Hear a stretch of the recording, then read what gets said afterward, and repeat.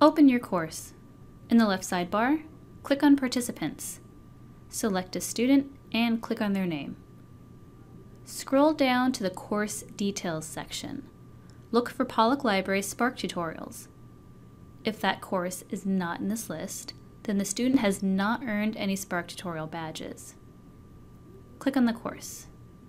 Now, scroll down to the Badges section. A student earns a badge for each tutorial completed at 100%.